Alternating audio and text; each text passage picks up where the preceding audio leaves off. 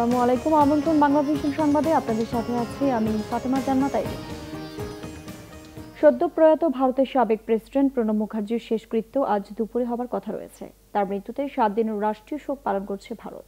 সকালে প্রণব মুখার্জির মরদেহ দিল্লির সামরিক হাসপাতাল থেকে দশ রাজাজি মর্গের বাসভবনে নেওয়া হয়। শ্রদ্ধা জানানোর জন্য তার মরদেহ সেখানে থাকবে দুপুর একটা পর্যন্ত। সকালে শ্রদ্ধা জানাতে সেখানে যান প্রেসিডেন্ট রামনাথ কোবিন্দ।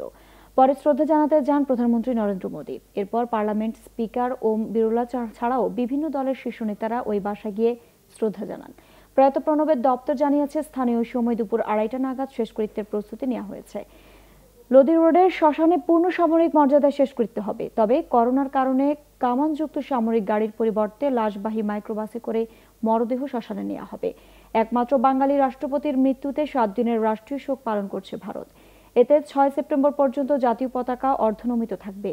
এই সময়ের ভেরতে ভেতরে সরকারি বিনোদন অনুষ্ঠানগুলো বাতিল হয়েছে। গত মাসে মস্তিষ্কে রক্তক্ষরণের জেরে দিল্লির সামরিক হাসপাতালে অপারেশনের পর কোমায় চলে যান প্রণব। মুক্তিযুদ্ধের অন্যতম সেক্টর কমান্ডার অবসরপ্রাপ্ত মেজর জেনারেল সি আর দত্তের শেষকৃত্য অনুষ্ঠান হবে আজ। সর্বস্তর মানুষের শ্রদ্ধা নিবেদনের জন্য এই মুহূর্তে তার মরদেহ রাজধানীর ঢাকেশ্বরী মন্দিরে রয়েছে। সেখানে সিআর দত্তকে রাষ্ট্রীয় সম্মান জানানো হয়। শ্রদ্ধা জানিয়েছে আওয়ামী লীগ সহ বিভিন্ন রাজনৈতিক ও সামাজিক সংগঠন।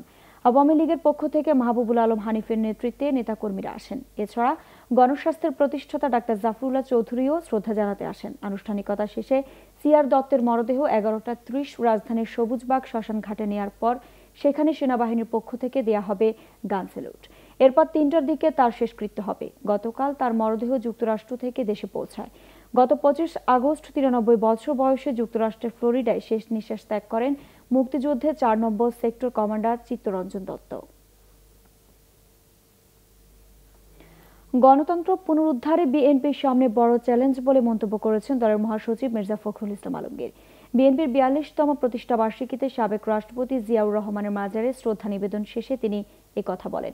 সকালে দলীয় নেতাকর্মীদের সাথে নিয়ে মাজারে শ্রদ্ধা জানান বিএনপি মহাসচিব। তিনি বলেন জিয়াউর রহমানের আদর্শকে ধারণ করে দেশে গণতন্ত্র ফিরিয়ে আনা হবে। বিএনপি চেয়ারপারসন বেগম খালেদা জিয়া সব মামলা থেকে মুক্তি পাবে বলেও আশা করেন মির্জা ফখরুল ইসলাম আলমগীর। আজ থেকে গণপরিবহনে যত আসন, তত যাত্রী ফিরবে আগের ভাড়ায়। তবে অর্ধেক আসন ফাঁকা রেখে চলবে ট্রেন, বাড়ছে না ভাড়া। করোনার কারণে বাস ভাড়া ষাট শতাংশ বাড়ানো হয়েছিল, তা বাতিল করে পুরনো ভাড়ায় ফিরে যেতে গণপরিবহন মালিক ও শ্রমিকদের বলা হয়েছে। এ বিষয়ে বাংলাদেশ সড়ক পরিবহন কর্তৃপক্ষ শনিবার নির্দেশনা জারি করেছে। এতে বলা হয়েছে, আজ থেকে রাজধানী ঢাকার গণপরিবহন দূরপাল্লার বাস এবং সারা দেশের স্থানীয় যাতায়াতের কোথাও বাস মিনিবাসে আসনের অতিরিক্ত যাত্রী পরিবহন করা যাবে না। যাত্রী, চালক, সুপারভাইজার, চালকের সহকারী, টিকিট বিক্রির কাউন্টারের কর্মী সবাইকে মাস্ক পরতে হবে।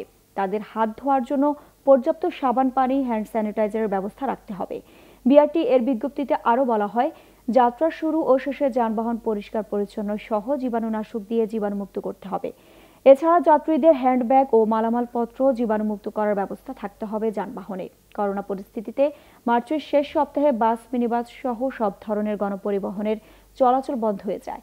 পহেলা জুন থেকে অর্ধেক আসন ফাঁকা রেখে বাস, মানিবাস, বাস, মিনিবাস চালু করা হয়। এর জন্য ষাট শতাংশ ভাড়া বাড়ায় সরকার। এদিকে অর্ধেক আসন ফাঁকা রেখে ট্রেন চলাচল অব্যাহত থাকবে বলে জানিয়েছেন রেল পথমন্ত্রী নুরুল ইসলাম সুজন। ভাড়া বাড়ানোর কোনো পরিকল্পনা নেই বলে জানান তিনি। দর্শক ছিল এখনকার মতো পরের সংবাদ দুপুর দুইটায়। এর আগে একটা রয়েছে নিউজ টপ টেন দেখার আমন্ত্রণ রইল। এছাড়া বাংলা ভিশন ও সংবাদ সংশ্লিষ্ট অনুষ্ঠান দেখতে লগ ইন করুন Facebook dot com slash Bangla Vision এবং সাবস্ক্রাইব করুন YouTube dot com slash Bangla Vision news এতক্ষণ সাথে থাকার জন্য ধন্যবাদ সবাইকে।